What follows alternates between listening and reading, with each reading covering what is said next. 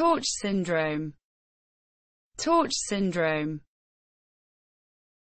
Infection of a developing fetus or newborn by any of a group of infectious agents.